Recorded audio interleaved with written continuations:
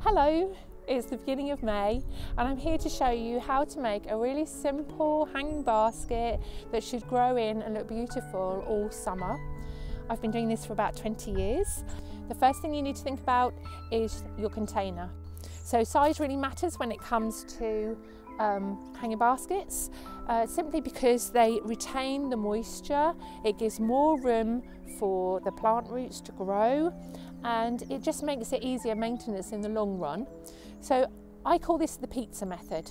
And the first thing is the size of your pizza is really important. So this is your 12 inch pizza. It's ideal for your winter hanging baskets where you don't need to water so much, but really a bit small for the summer. This is your 16 inch pizza, your extra large.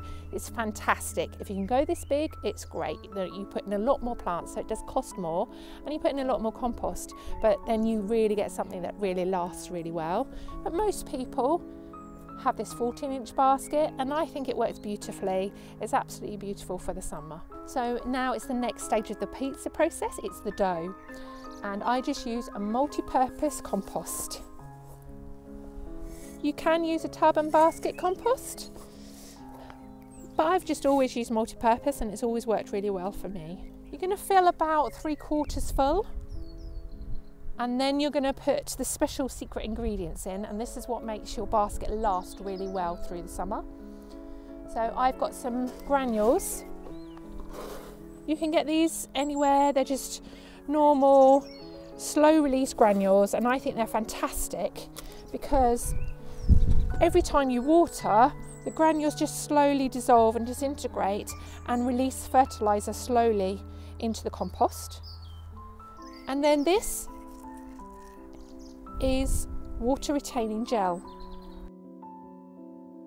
So the water retaining gel will um, help your basket retain its moisture even if you might forget one day to water it, it has absorbed the water and then releases it slowly so into the compost when it's needed. However, if you put it all at the top, if you're not careful, it bubbles up when it swells up and swells up and looks disgusting like slugs coming over the top. So that's why I do it at this point. I mix it all in.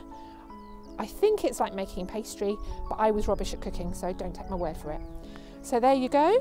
And then you top up again with multi-purpose.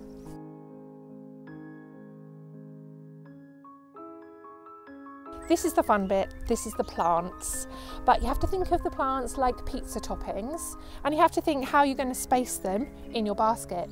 So what I usually start with is the central piece. There's loads of things as long as it's upright because you want to think that the, the basket has this kind of overall effect of a dome rather than having all trailing or all upright. So I would go for something like an osteospermum or a geranium or a fuchsia in the middle. And there are different price options. So you've got a really beautiful osteospermum here. You've got a zonal geranium here. Or if you're making several, you can buy a six pack and this works out a lot cheaper. You can put each one of those geraniums in the center and um, it works out just as cheaply, but ultimately when your basket's all grown in, it looks just as beautiful as anything else. For today, I'm going to use a zonal just so you get the effect of what your geranium is going to look like.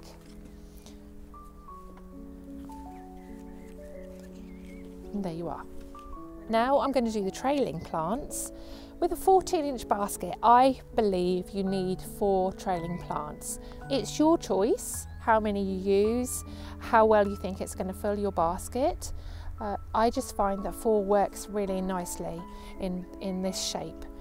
So I always like to put a trailing geranium simply because a trailing geranium is very tolerant. If I forget to water, the geranium does really well anyway.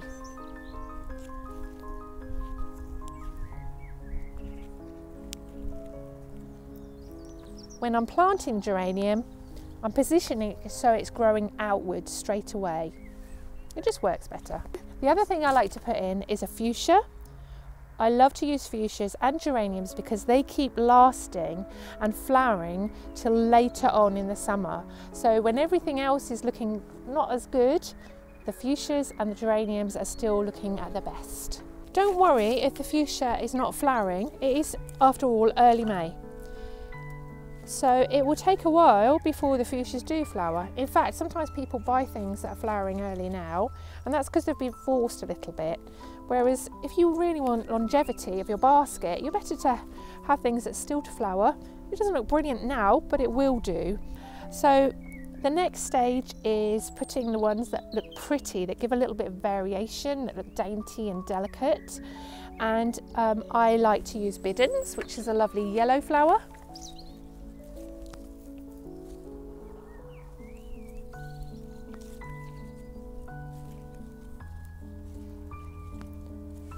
Another favourite of mine is Bacopa.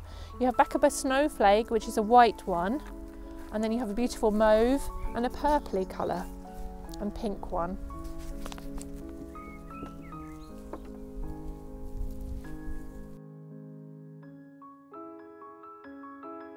As you can see, I've placed them evenly around the basket, just as if you're placing pepperoni on a pizza. Now it's time for the cheese. You're going to use upright plants in each space between the trailing. So you probably want to use two or three petunias and then you might want to add something else. Personally, I love verbena, one of my all-time favourites, although I say that just about every plant. And I also do like to have a little bit of a kick of colour and you wouldn't normally think of putting marigolds in hanging basket, but I often do. I, I like to think of it as for luck but I just like it. There's something about the colours. And that's another thing I wanted to talk to you about is lots of people like to have a colour scheme when it comes to hanging baskets. Often it works better if you don't worry about the colours. It's just a riot of colour. It just looks so bright and cheerful. So don't get too fixated about how, which colour you want to use. Just go with it. Just find lots of things you like, put them all together, and that is the beauty of summer bedding. So now I'm going to plant two petunias opposite one another. These ones are quite big. You don't need big plants, especially now in early May. Um, often the smaller ones are better because they grow in all together and merge really nicely.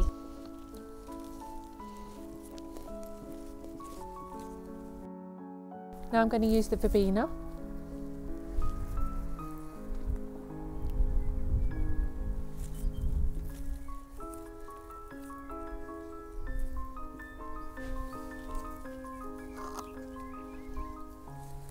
You could use begonias, you could use busy lizzies, and like I say, you can use even use marigolds.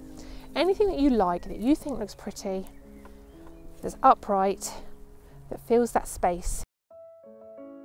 Lots of people ask me about lobelia.